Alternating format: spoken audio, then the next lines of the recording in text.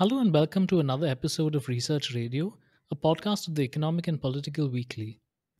I'm Johan, and today we have with us Dr. Radhika Kumar, who will be discussing her work on electoral politics in Jatland, the changing political landscape in Haryana. Dr. Radhika Kumar is with the Department of Political Science, Motilal Nehru College, University of Delhi. Welcome, Dr. Kumar, and thank you for joining us today. Uh, right. Thank you so much uh, for inviting me today, and it's indeed a pleasure to be here. Dr. Kumar, before we get into discussing electoral p- politics in Jatland, I should perhaps ask the question who are the Jats? Because from reading your papers, I feel like understanding that is key to understanding why certain campaign strategies have worked in the region while others haven't. Uh, yes, in talking about uh, the Jats, the Jats as a caste community, uh, as we know, are spread across almost nine states in India. But in Haryana, uh, Jats have been a dominant caste, both numerically, as they constitute around 27% of the state's population, and they're also the agriculturally dominant caste because they own vast tracts of land. So, uh, sticking to what M. N. Srinivas calls a dominant caste, they also have access to most of the socioeconomic resources and also they are culturally dominant. Uh, Mhm, but historically, if we look at uh, how Jats have been, we, are, we read about them being warrior cultivators and semi pastoralists and in terms of uh, cultural practices, they have been known to be associated with what is called the Bhaichara system, some kind of an mhm, egalitarian system which emphasizes Hindu Muslim unity. It also brings into its fold the Gujars. But on the other hand, we also uh, read about the system being very hierarchical, especially when it comes to women and mhm, uh, uh, and the lower castes, and that has also been typical to Haryana. Further, in terms of uh, identity in general, uh, the history of the Jats, particularly in Haryana, the identity has one which has been constantly evolving. And uh, very often, scholars tell us that it is based on some kind of othering, that is, uh, kind of establishing themselves as distinct from those above them in the caste hierarchy as well as those below them so i would say that it's it's been a kind of a fluid uh, identity and uh, so therefore to fix it uh, you know uh, is a little different and in the more recent years we have seen newer aspects of that as they have been agitating to be included within the category of those who deserve uh, some kind of affirmative action So, the success of the BJP in Haryana in 2014 was unprecedented. What do you attribute their success to, considering that historically, and as you just mentioned, the politics in Haryana has not been communally polarized? Uh, yes, that's a very interesting question because, uh, uh, as you've already mentioned, uh, the BJP has not been very successful in Haryana, and uh, communal polarization, even historically in Haryana, uh, you know, never really succeeded. And like I was just saying, this concept of egalitarianism or bhaichara has been typical uh, to at least the rural community in Haryana but 2014 uh, was a bit different in certain ways. And uh, as we saw across the country, uh, the BJP, led by Narendra Modi, was able to uh, gain major electoral successes. So, uh, one of the reasons why it also made a difference in Haryana was clearly how the BJP planned its election strategy, which I believe is very extensive and immersive so, political communication uh, has been something that the BJP has excelled at, and clearly that was not something that the Congress or other traditional parties in Haryana, like the INLD, uh, could match with. Also in Mhm, Haryana, we see that uh, uh, in the 2014 assembly elections, the Congress was facing massive anti incumbency. There were lots of uh, cases of corruption, uh, you know, some kind of uh, change of land use. There was forcible land acquisition, uh, uneven development because uh, it was said that the bastion of the ruling uh, leaders uh, Rohtak and other districts were the ones that saw maximum development. while the rest of Haryana, uh, you know, really suffered under the rule of uh, Bhupender Singh Huda. So uh, uh, these were also some of the local factors uh, that worked against uh, uh, the Congress party and uh, Mhm. most importantly i believe you know it was the kind of persona that narendra modi brought with him the kind of performativity the popularity that he was able to put across to the voters that really worked for the bjp and um, you know there's this example that i often cite uh, of a uh, of uh, a rally uh, that took place in faridabad where while uh, addressing the gathering uh, at the end of uh, you know the his speech he said that you know i want you all to take back all the plastic cups and other things that you have used you know while uh, coming here Mhm. in the rally and suddenly there was a scramble uh, amongst the audience to do that. So there was this sense of involvement you know connection that he was able to forge with the electorate which i think uh, really enthused a lot of young people uh, uh, especially in haryana. And uh, uh, so so that i think worked for the party in 2014 it was something new. It was something different. Uh, and it was not based on uh, at least outwardly, it was not based on identity politics. There was a promise of development, uh, you know, a, a concept of self reliance, uh, Mhm. which, uh, as I also write about, seems to hark back to what Sir Chotu Ram at one point was talking about uh, with respect to the Jats, you know, that uh, they are extremely industrious, hardworking, and, and that's the identity that they want to put forward. Uh, so uh, Mhm. clearly, we all know that elections are not, uh, you know, because of any one factor or variable. It's many factors put together. And so, to my mind, these were some of the things that worked for the BJP in the 2014 assembly elections. Could you speak a bit more about this concept of leadership and also how this is embodied in the political dynasties in Haryana? Yes, absolutely. Uh, so, this idea of leadership, or what uh, in local parlance is called chaudhar, uh, is something that is uh, pretty much a part of the vernacular imagination. And uh, uh, it takes on the idea that uh, if a particular electoral constituency, um, you know, has the possibility of electing the next chief minister, uh, you know, they get extremely enthused so, Mhm. uh, uh, Chaudhar has been something that political parties have leveraged uh, in a bid to mobilize voters from particular constituencies or a particular area, uh, you know, uh, so Mhm. that uh, it's also a way to increase their popularity. But uh, we know that in Haryana, most of these candidates, especially those who have been chief ministers, have come from the Jat community. So, in asserting a certain region or a constituency's chaudhar or leadership, this also becomes something about asserting a kind of pan state caste dominance. So, uh, Mhm. this idea of a chaudhar, the way I talk about it in one of my papers, is basically to say that in 2014, in the assembly election, when the BJP did not announce a chief ministerial candidate, uh, it pretty much did so possibly out of a you know it was a practical decision because they had no uh, uh, no such leader who could who was well recognized but also Mhm. it was a way i would think of uh, you know hinting at a break from tradition uh, you know so uh, Mhm. by saying that okay we're not going to announce uh, uh, a cm face or a cm name from the dominant community but we're going to leave it open and this kind of uh, fits in with the eventual choice that the bjp made in terms of uh, designating manohar lal khattar as the chief minister who is a non-jat so, Mhm. uh, from the perspective of the election, uh, this idea of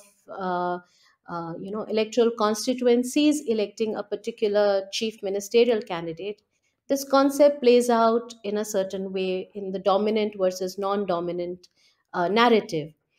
But uh, to answer your question uh, uh, specifically, which is about the idea of uh, political leadership in general in Haryana and the concept of Chaudhar, clearly it is an indication of the persistence of uh, political dynasties, which has been typical to electoral politics. And uh, uh, anyone well versed with the politics in Haryana knows of the three Lals that is Devi Lal, Bansi Lal, and Bhajan Lal, who uh, do claim certain regional uh, constituencies as uh, the ones that they dominate. So, uh, in fact, we have a scholar, Adam Ziegfeld, who in a paper talks about how family connections as well as previous experience have favored a candidate's chances, you know, in the case in Haryana in electoral competition. So, out of uh, his study, he says that yes, familial connections do make a difference. So, uh, for instance, uh, the Chautalas are known to come from Sirsa, that's the area they dominate. Uh, the Hudas from Rohtak. Uh, Rao Inderjeet Singh, another tall uh, leader in Haryana, comes from the Ahirwal region, which is the districts of Gurgaon, Rewari, Mahendragarh and uh, Bhajan Lal belongs to Hisar, Bansi Lal to Bhiwani. So they have kind of established their chaudhar or regional leadership uh, in different parts of the state, which also tells us that regional leadership in Haryana is quite important, and uh, uh, which has been another reason, possibly historically, why the BJP could not really uh, do well uh, because of these uh, regional bastions.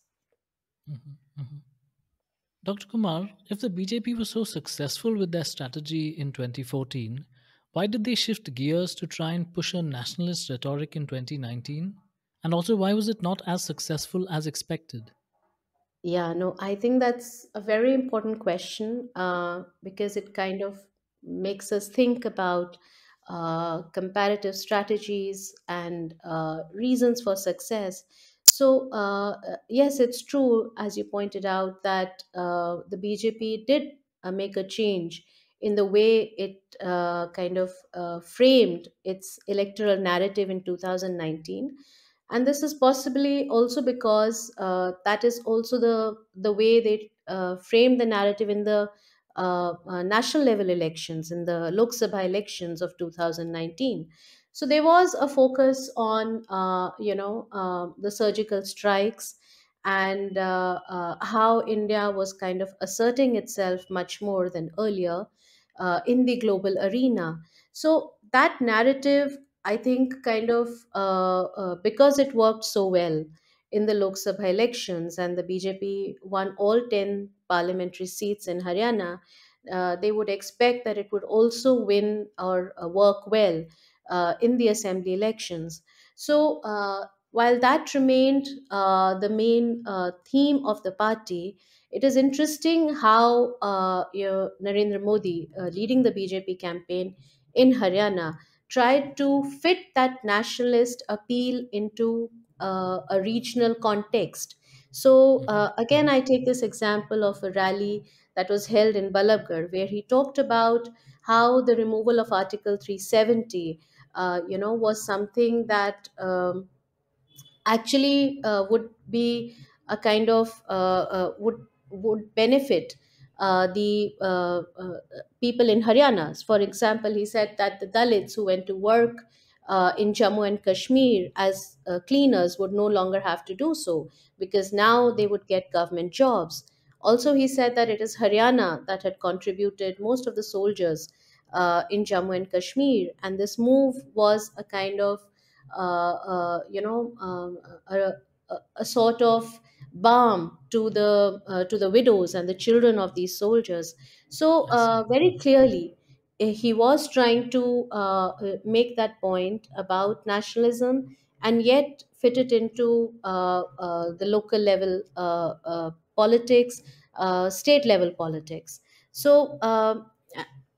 And this, in a sense, also played out in the slogan that the party used Haryana Ek, Haryanvi Ek. So they were trying to bring all the uh, uh, all the sections of society together But uh, one must not forget this period between the 2014 and 2019 elections, which also saw massive mobilization by the Jat community demanding reservations, and that led to extreme violence in the state.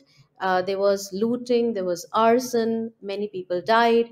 Uh, many people were charged with uh, uh, uh, with violence, and most of them came from the Jat community. So we do see a kind of fracturing of the social fabric in that period, and particularly the Jats were very unhappy with the way uh, the BJP-led government had handled the entire issue.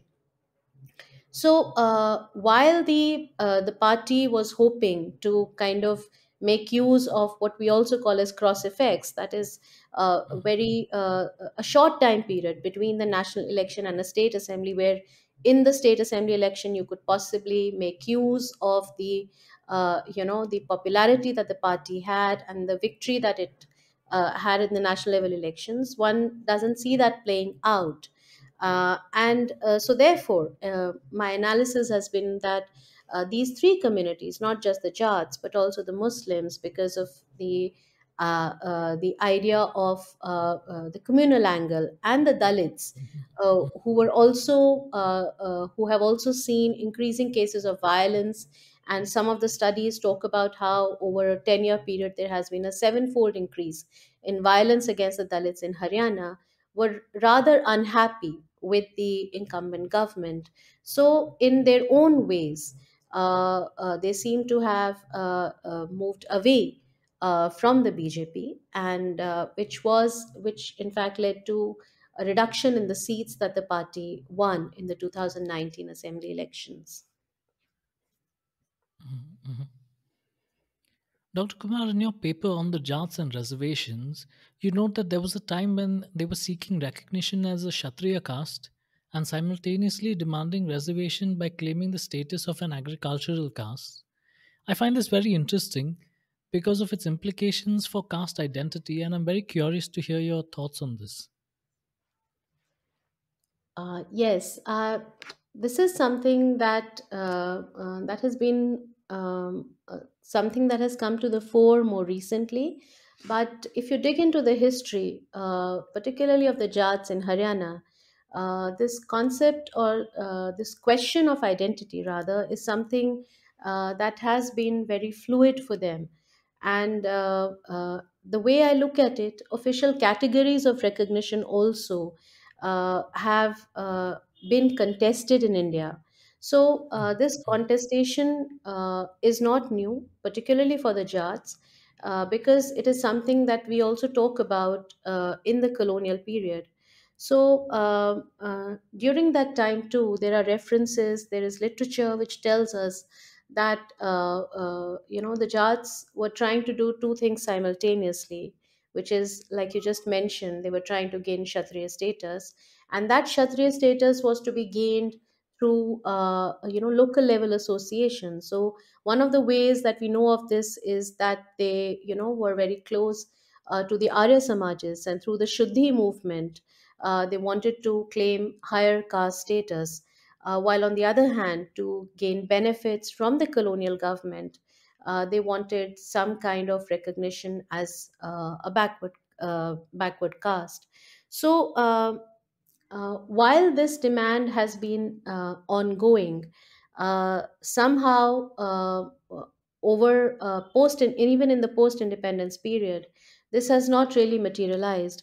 So we know about various commissions which have been set up. For instance, the Gurnam Singh Commission that was set up in Haryana in 1991, which for the first time recognized the Jats as a backward class and it extended 26% reservation. And there were many other castes which were included but the jats as well.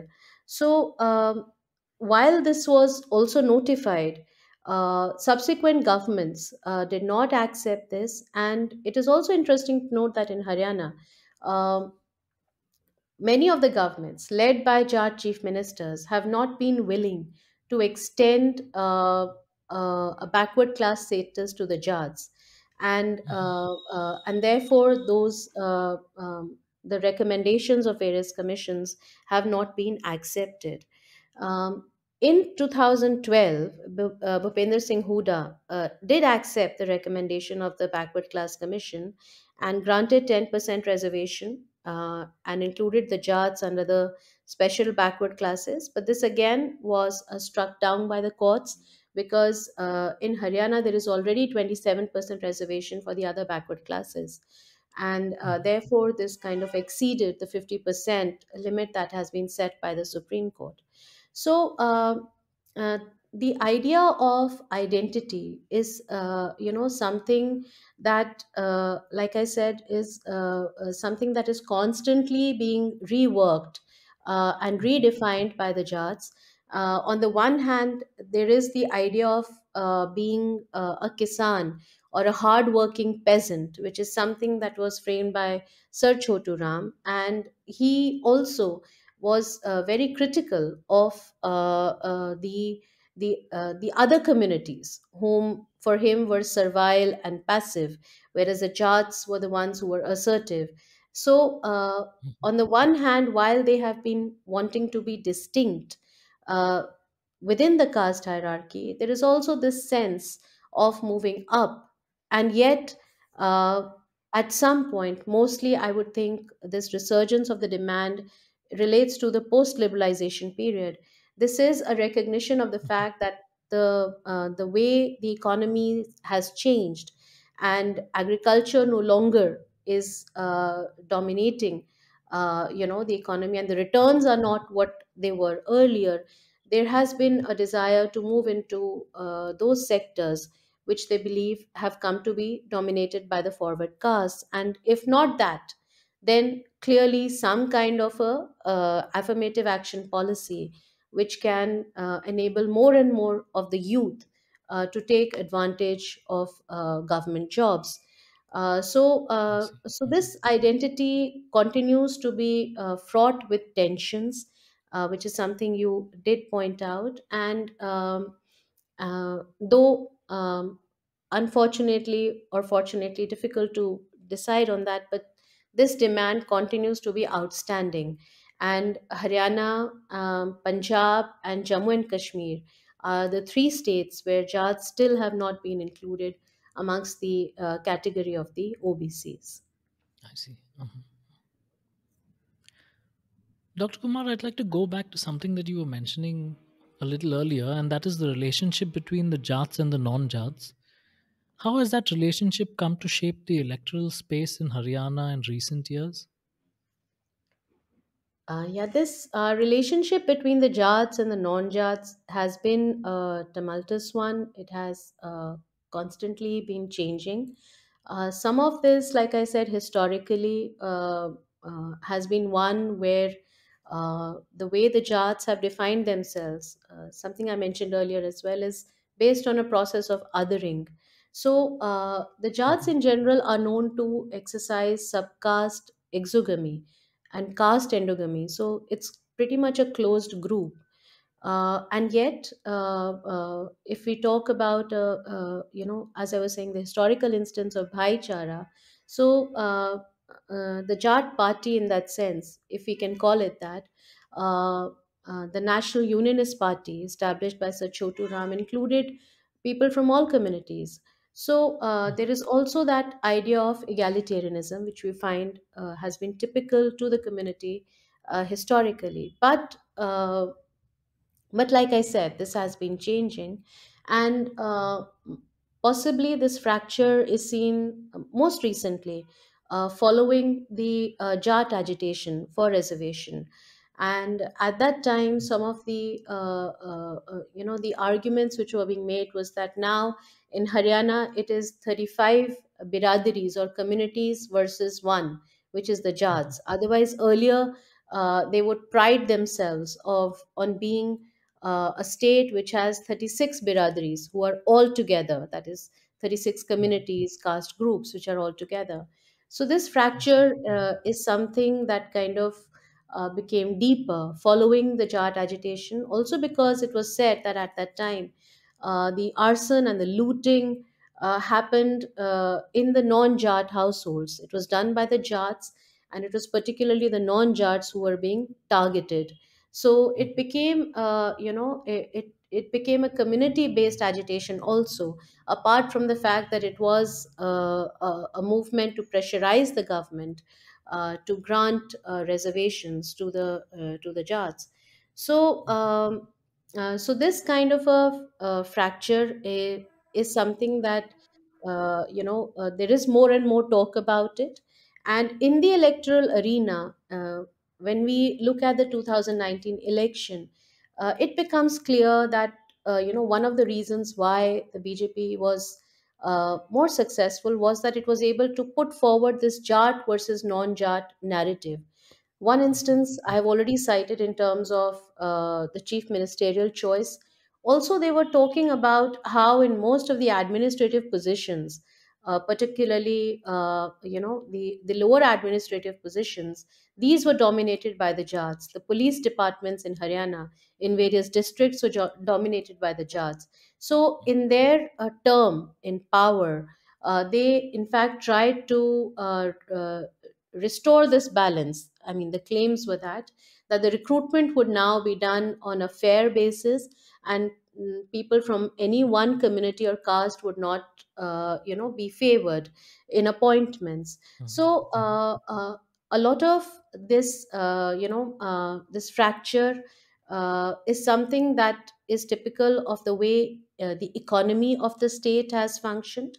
Uh, so from a traditional caste dominance in the landed arena you now find that as the as the country as a whole moves towards newer uh, occupations and newer services and agriculture loses you know its viability uh, there is the desire amongst these traditional landed castes to uh, find a foothold in these newer occupations and therefore uh, that tension also shows in the rural arena so, uh, plus also the way political parties mobilize communities. So, this polarization is also something that led to uh, a kind of a fracture. Though in the 2019 election, as I was saying, if you look at the electoral trends, clearly uh, many amongst the Dalits, the Muslims, and the Jats did not vote uh, for the BJP. But this again does not tell us uh, that whether it has led to some kind of uh, pan state consolidation. Clearly, it has not, because it was not a co- concerted action. Also, the uh, you know the relation between the Jats and the Dalits in Haryana has also always been a very difficult one, and we have many instances of violence against the Dalits uh, in Haryana, and uh, uh, so therefore, from that perspective too, um, uh, there are fractures which are uh, clearly visible. Uh, so. Um, uh, intercaste uh, uh, relations uh, are not something which are very smooth and uh, i don't see them smoothing out in the uh, in the near future either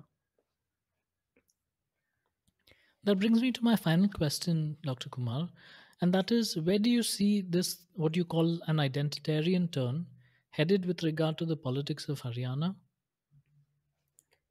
right so um, i see this uh, uh, the idea of an identitarian turn is to suggest that identity uh, particularly caste identity, I would think, is something that continues to play an important role uh, in electoral politics.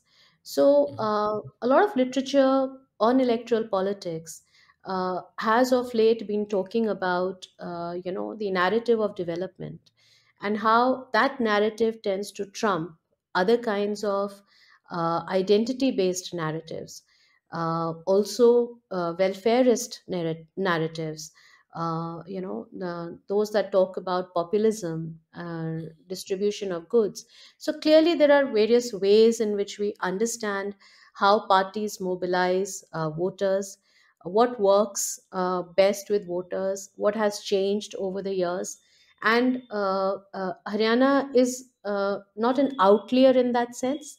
That in Haryana too, if uh, one were to think of the 2014 assembly election, like I was saying, clearly there is a narrative which is very different that the BJP was putting forward uh, of self reliance. uh, you know, uh, at some level of kind of owning uh, the development uh, uh, project and not kind of uh, thinking that the government will do it for you. That sense of, uh, you know, uh, constituting it yourself uh, but clearly, uh, it, that is not the only aspect in which mobilization took place. And uh, polarization in terms of dominant versus non dominant has also played a role in, uh, uh, in pulling in voters uh, to vote for a particular party. So, Mhm. uh, to my mind, uh, if one mobilizes voters on that basis and those identities remain important, then clearly identity politics cannot be dismissed as an important factor in determining electoral outcomes. Uh, Mhm. and this is not just for Haryana, uh, even other states. Uh, you find increasing assertion of forward castes. For instance, in UP, there has been talk of forward castes pushing back, uh, you know, the other castes, whereas for a long time, uh, we Mhm. talked about uh, how you know the uh, the lower castes, the marginalized castes, they were the ones who were uh, kind of uh, coming together and uh, uh, uh, electing leaders belonging to specific regional or community based parties. So, my argument is this that identity politics uh, is important. And if we look at the 2019 Assembly election results, decoded along those lines, where, where I have kind of thought of uh, thinking of the way reserved constituencies have voted as a proxy for the way the Dalit vote has gone Clearly, that does play an important role in uh, electoral outcomes. So one can't be entirely dismissive of it, uh, but uh, one has to take that into consideration while decoding any kind of uh, electoral result. I see. Uh, Dr. Kumar, your your response actually reminded me of something else that you mentioned in one of your papers, and that is that the Jat identity uh, they were they were able to consolidate it better than, for example, the Dalit uh, identity because there was, uh, you know, some amount of factionalism even within the the Dalit community, which fractured the vote.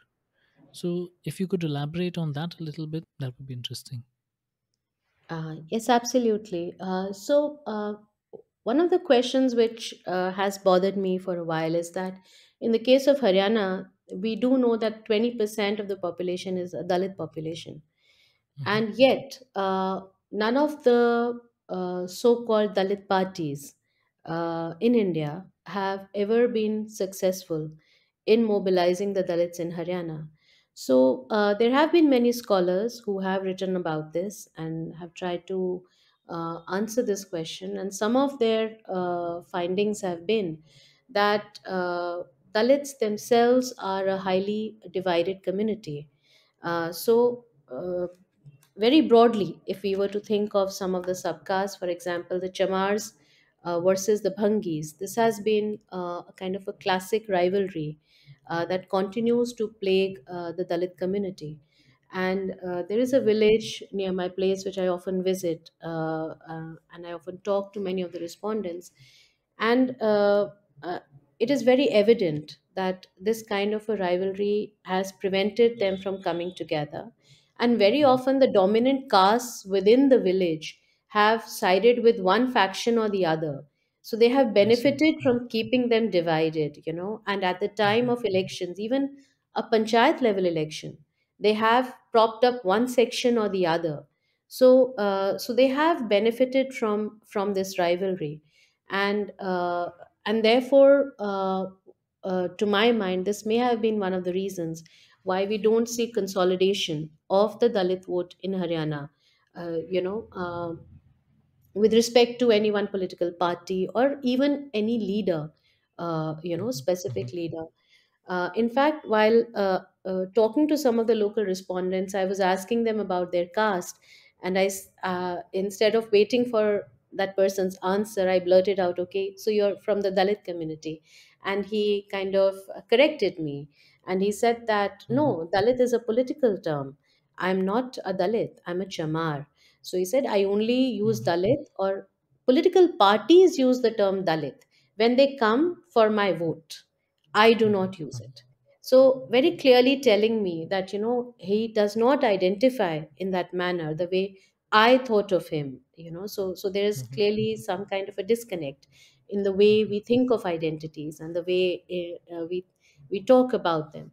So, so that's one. Also, um, uh, in the case of Haryana, uh, the uh, the Dalits have not uh, overtly challenged the Jats in terms of land ownership, and land ownership has been one of the flashpoints of uh, uh, violence between the Jats and Dalits in Haryana, because many of the common lands too that the panchayat kind of leases out have uh, which were are meant to be leased out to the dalits have been taken over by the jats but in Haryana, what we find is that instead of uh, confronting the Dalits, uh, sorry, the Jats, the Dalits have instead made use of the uh, reservation policies in education and in government employment to kind of better their status.